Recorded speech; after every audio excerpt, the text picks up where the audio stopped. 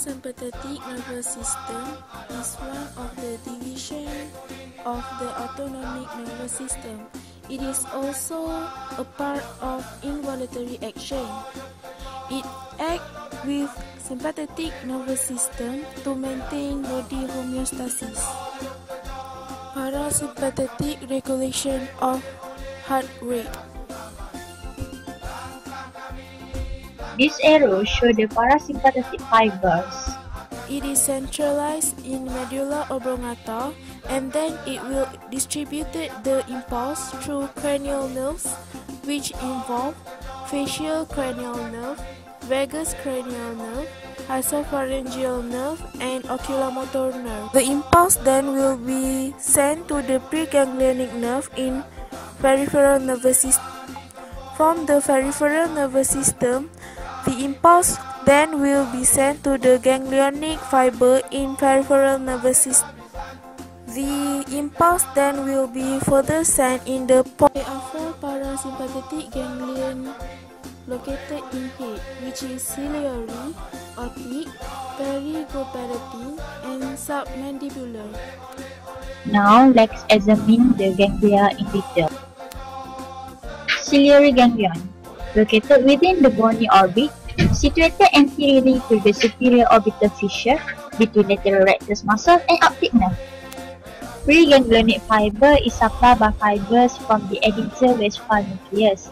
Postganglionic fiber leave the ganglion via the short ciliary nerve and continue into the orbit to innervate structure of the eye. Target organs is where postganglionic fiber innervates sphincter pupilla.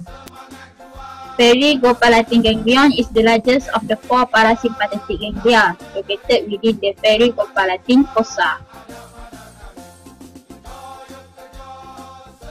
Preganglionic fibers is supplied by fibers from the superior salivatory nucleus.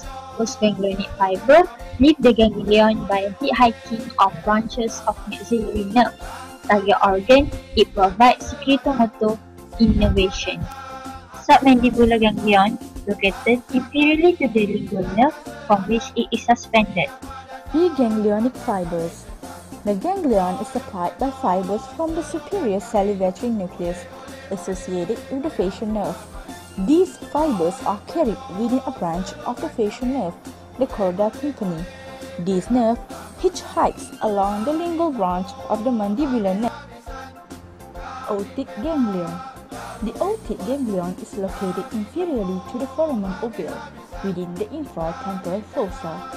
It is medial to the mandibular branch of the trigeminal nerve. Preganglionic fibers. The ganglion is supplied by fibers from inferior salivatory nucleus associated with the glossopharyngeal nerve. Parasympathetic fibers travel within a branch of the glossopharyngeal nerve, the lesser petrosal nerve to reach the otic ganglion, postganglionic fibers. The parasympathetic fibers hitchhike along the auriculotemporal nerve, branch of the mandibular division of the trigeminal nerve, to provide secretomotor innervation to the parotid gland. Target organs. The postganglionic fibers from the otic ganglion provide parasympathetic stimulation. This stimulation involves negative chronotropy, which is the heart rate, negative inotropy, which is the contractility, decreased lusitropy, which is the rate of relaxation, and negative dromotropy.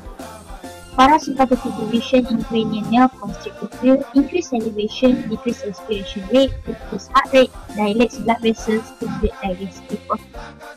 Example of parasympathetic division in sacral nerve is the contraction bladder muscle and the stimulation of just remember parasympathetic and sympathetic are two divisions of autonomic nervous system. For more information you can visit these particular websites. Wish you guys all the best for the final. Created using PowToon.